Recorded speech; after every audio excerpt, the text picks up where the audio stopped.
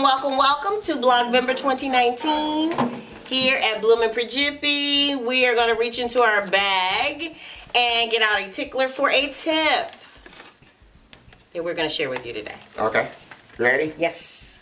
Here we go. Inspiration tips. Okay. Hmm. Okay. Okay, so I don't know. That's a big one.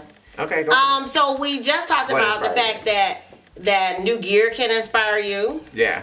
Uh, for me, um, it can be. I, I like cultural things. So um, I just was looking at. There's a new trend in bridal wear to do Asian inspired gowns. You know, like kimonos as bridal um, Okay. gowns, and so just things like that. Or um, uh, we're looking for rock star clothes, so that kind of inspires me to for the photo shoots and and just to to do videos and that kind of thing. And then of course movies always inspire me. Yeah. So I get ideas for not only looks but also just just little snippets of phrase, you know, dialogue, Yeah. the words they put together, and and uh, you you know often I'm I'm jotting on the side of the couch down a line that I want to remember in my little journal. So Yeah. and I use that when it's time for us to to dig into our treasure chest and pull out an idea, a seed of an idea. So, All right. Yeah. Yeah, I, I, I agree with all of that. I, I think that you kind of have to be uh, uh, uh, an open antenna, conduit, kind of for everything that's around Yeah. you, that's happening around you, Yeah. and kind of try to draw inspiration from a lot of different places. Mm-hmm. Um, you know, creatively.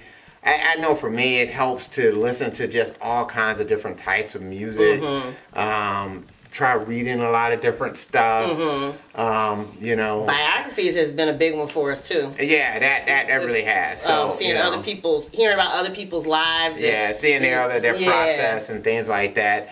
Um, you know, ch- checking out things like YouTube. Sometimes Yeah. even like um, learning stuff. You know, I mean, there's so many like great players and and people out there that know so much about music on Mm-hmm. YouTube. And you can kind of just learn stuff from these people, Mm-hmm. you know, and they can just just by giving you exercise, you Mm-hmm. know, like learning a different exercise on the guitar could be the seeds of a song. Yeah. You know, um, it it just can just come from everywhere. I, I think you just kind of have to be open for that, Mm-hmm. um, and, and and open to to do art that you don't think is that good. I mean, we had a discussion about that before, Mm-hmm. Yeah. as far as you know. Um, a lot of times we look at like the people who are at the top of this field Mm-hmm. and you kind of look at them and say okay yeah this is the level i'm supposed to be on Mm-hmm. and be honest with you most people are not going to be there it's like in, in the nba it's not every single player is not lebron james Yeah, right. but you know in order to, to, to, to build a team LeBron James has to have, you know, Mm-hmm. five of the four of the people on the floor with him, and he's got to have a bench. He's Mm-hmm. got to have these other, and these other people are not going to be on that same level. Mm-hmm. And that's the same way you have to look at it with what you do. Is that Mm-hmm. the role that you may play in the music industry may not be the role that um, Justin Bieber or people who are at Mm-hmm. the top plays, but that doesn't mean a that it can't be a role that can make money for you Mm-hmm. and all the rest of that stuff. And so, meaning this is that I don't care how many times you get turned down, you have to understand that your stuff and you creating stuff Mm-hmm. is important, and that somewhere along the line, your stuff is going to find a home. Yes. And that alone can help to inspire you even when you're down. yeah, that's So, true. Yeah. I just want to say that part. Mm-hmm. That's it. And to constantly create. I think Yeah. that that is important. But that's that's a kind of part of the process. If that you start feeling like, well, nobody's listening, I might as well give up. Mm-hmm. And that's why I kind of have to hit on that point. Mm-hmm. Is that you know th- this is not about you having to be you know the God's gift to songwriting or whatever rest Mm-hmm. That stuff. Yeah. Most of us aren't going to be that. Yeah. And that's cool. yeah.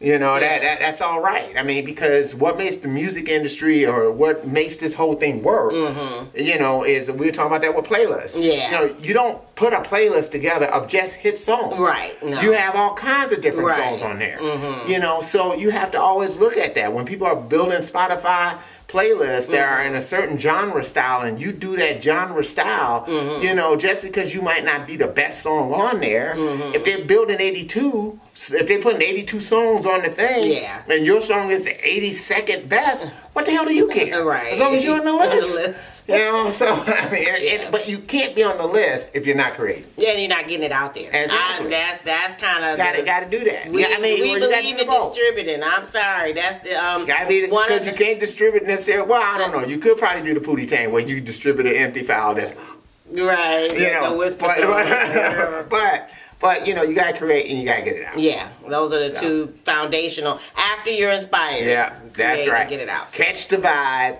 and then you gotta release it. Yes. Mhm. You know what I mean? So. All right. Uh, what are your tips for being inspired? Make sure you leave it in the comments below. And please join us again tomorrow for another episode for Blogvember 2019. Three episodes a day, video, podcast, and blog post.